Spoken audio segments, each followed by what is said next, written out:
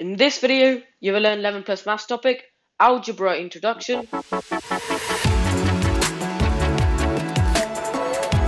Welcome to another video. If this is your first time here and you want to master 11 plus exam techniques to land in your dream grammar school, start right now by subscribing and clicking on the bell so you don't miss anything. So now, a thing to remember in algebra is that algebra is just like arithmetic. So in algebra, you'll also have addition, subtraction, multiplication, and division. So let's start with addition first. And the example we have is x plus y.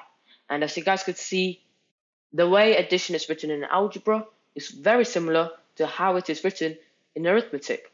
The only difference is in algebra you're dealing with symbols, but in arithmetic you're only dealing with numbers and no signs.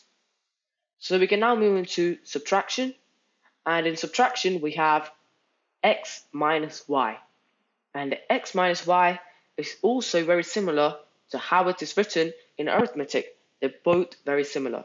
And as you guys could see, x minus y is just like how you would write in arithmetic. But as we said before, in algebra, you're dealing with signs, but arithmetic, you're not dealing with signs. That's the only difference in terms of addition and subtraction, but multiplication and division are a bit more different. So let's start with division first. And as you guys could see, we have x divided by y. You guys may be wondering why x divided by y is different to how it is written in arithmetic. To be fair, in algebra, you don't write x divided by y like this. You instead write it in a fraction form. So x over y. So that's how you write it in algebra because at the end of the day, a fraction is a division. So that's how you write it. So now, we can now move into multiplication. So multiplication, we have x times y. And you guys might wonder why x times y is different to arithmetic. The thing with x times y, or thing with multiplication in algebra is that multiplication is the default operation. So what do I mean by default operation? So let's say there is no sign between the x and the y. So if there is no sign between the x and the y, then it's automatically considered that this is a multiplication problem because multiplication, as we said before, is a default operation. So if there is no sign between a number and a symbol or between two symbols, it's automatically considered as a multiplication question. So x times y. So an example of it would be, for example, it could be xy. And in xy, it's obviously a multiplication, as we said before, but the thing is, there is no sign in between the x and the y, but since multiplication is a default operation, you need to consider it as a multiplication. So let's have a couple of examples, which are 5y and 4x.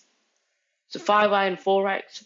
So 5y, as we said before, both of these don't have a symbol next to them.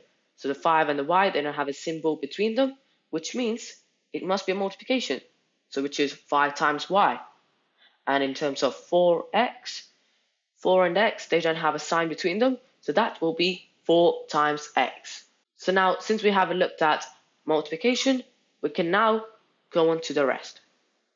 So, but you guys may think that we do not need to use the multiplication symbol at all, but this is not true. You do need to still use the multiplication symbol in algebra. You use it when multiplying numbers. So let's have a look at 5 times 8. And let's try writing this without a sign in the middle. You will get 58. And as we all know, 58 is not the same as 5 times 8. So when you're multiplying numbers, you still need a multiplication sign. But a one way you can multiply numbers with no multiplication is by using brackets. And you guys may be wondering why, because we're using brackets and bracket has nothing to do with multiplication? Well, this is because everything inside a bracket is grouped. And when you have two groups next to each other with no arithmetic symbol in between them, it automatically becomes a multiplication. So 8 times 5. And that's how you multiply numbers with no multiplication symbol in between them. Now to learn more on 11 plus maths, click the video on the right. And to learn the previous topic, click the video on the left. So take your pick. Thank you so much for watching. Please subscribe to my channel. I'll see you next time.